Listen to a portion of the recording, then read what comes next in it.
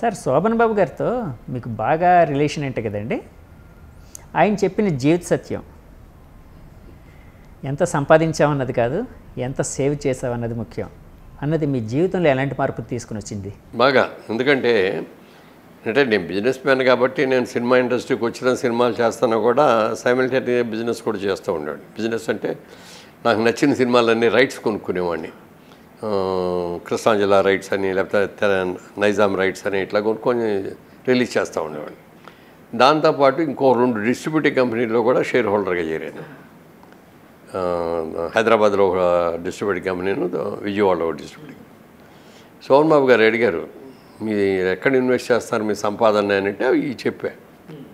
చెప్తే మీరు సినిమాలు బాగా తీసుకుంటున్నారు మీకు నచ్చిన సినిమాలు కొనుక్కుంటున్నారు అవన్నీ బాగానే ఉన్నాయి కానీ మీరు ఎవరు దాంట్లో షేర్ పెట్టారన్నారు అది మాత్రం మీరు తప్పు చేస్తున్నారండి అన్నాడు. అవి లేదండి వాళ్ళు చాలా మంచి వాళ్ళు చాలా బాగా చేస్తున్నారండి అన్నాడు. నా ఎక్స్పీరియన్స్తో నేను చెప్తున్నా మీ ఇష్టం అన్నాడు. సంవత్సరం తిరగకుండా రెండు కంపెనీలు మూతపడిపోయినాయి నా పెట్టుబడి పెట్టిందంతా పోయింది దాంట్లో. ఆ రెండో కంపెనీలో ఒక కంపెనీలో మాత్రం వాళ్ళు చేసిన అప్పులన్నీ నా మీద పడినాయి. అందులో నేను సౌండ్గా ఉన్న పార్ట్నర్ నా మీదకి వచ్చేట ఉండేటప్పటికి అందరు నా మీదకి సో మిమ్మల్ని పట్టుకుంటే వాళ్ళు డబ్బులు వస్తాయని మిమ్మల్ని పట్టుకున్నారు వాళ్ళు. అంటే మీ మీద ఫోర్స్ ప్రెషర్ అవన్నీ నేను తీర్చాల్సి వచ్చింది. ఆ తర్వాత అప్పుడు ఆయన అడిగా మరి మీరు ఎక్కడ ఇన్వెస్ట్ చేస్తారంటే అప్పుడు నేను ల్యాండ్ మీద చేస్తున్నాను. ల్యాండ్ అనేది ఎంత ఉందో అంతే ఉంటుంది అది పెరగదు. కానీ జనాభా విపరీతంగా పెరిగిపోతున్నారు. రాబోయే రోజుల్లో ఈ పెరిగిపోయిన జనాభాకి ల్యాండ్ అదే ఉంటుంది కాబట్టి ల్యాండ్ కాస్ట్ బాగా పెరిగిపోతూ. అందుకని నేను ల్యాండ్ మీదే ఇన్వెస్ట్ చేస్తానని చెప్పాడు. అది నాకు బాగా నచ్చి అప్పటి నుంచి మెడ్రాస్లో ఉండగా ఏ స్థలాలు కొనుక్కొని అవి కొనుక్కొని కొనుక్కొని. తర్వాత ఇక్కడికి వచ్చిన తర్వాత బిజినెస్ మొదలెడదాం అనుకున్నప్పుడు ఆ రియల్ ఎస్టేట్ బిజినెస్లోకి దిగి. అట్లా ఇన్స్పిరేషన్ అది ఆయన ఇచ్చిన ఇన్స్పిరేషన్.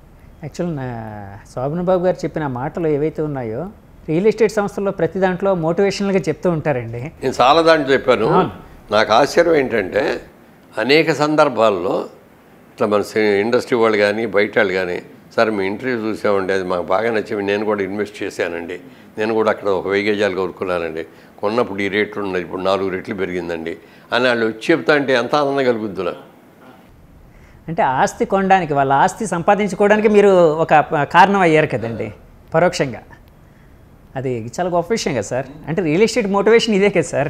యాక్చువల్గా మార్కెటింగ్ పీపుల్ని మోటివేట్ చేసేది ఈ మాటలే. సార్ అలాగే ఇప్పుడు శోభన్ బాబు గారు ద్వారా మీరు ఇన్స్పైర్ అయ్యారు. ఒక మురళీమోహన్ గారు ఇన్స్పైర్ అయ్యారు. మురళీమోహన్ గారి ద్వారా ఎవరు ఇన్స్పైర్ అయ్యారు మన సినిమా వాళ్ళు? సినిమా వాళ్ళు వాళ్ళు మీకు చెబితే నమ్మరు మీరు. ప్రొడ్యూసర్స్లో కానీ డైరెక్టర్స్లో కానీ ముఖ్యంగా హీరోస్లో ప్రతి వాళ్ళు కూడా వాళ్ళు బ్రహ్మాండమైన ల్యాండ్ బ్యాంక్ ఉంది అందరి దగ్గర. చాలామంది కొన్నారు. చాలామంది చాలామంది చిరంజీవి గారు కొన్నారు. మరి రామ్ చరణ్ కొన్నాడు. అల్లు అర్జున్ కొన్నాడు మహేష్ బాబు కొన్నాడు అందరూ ఎన్టీఆర్ కొన్నాడు.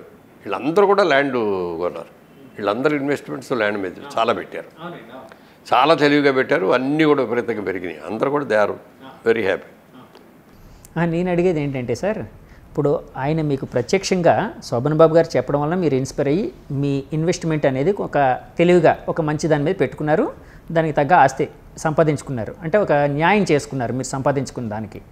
అట్లాగా మీరు చెప్పిన మాటల వల్ల ఇన్స్పైర్ అయ్యి సినిమా వాళ్ళు ఫలానా వాళ్ళని కాదు కానండి చాలామంది విడిగా బయట నా ఇంటర్వ్యూలో చూసి ఇన్స్పైర్ అయ్యి కొట్టుకున్నాడు చాలామంది. అది ఇందాకలే చెప్పారు కదండి ఎవరో చాలామంది చెప్తూ ఉంటారు ఇట్లా అని. ఆఖరికి ఒక రోజున మన డైరెక్టర్ మారుతి గారు కూడా చెప్పాడు. ఆయన కూడా కొన్నారట సార్ మీది చూసి ఇన్స్పైర్ అయ్యి.